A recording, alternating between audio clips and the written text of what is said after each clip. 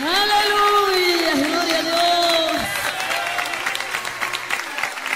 ¿Cuántos están alegres, amados hermanos? Yo creo que todos estamos muy contentos y muy gozosos de parte de nuestro Señor Jesucristo. Aleluya.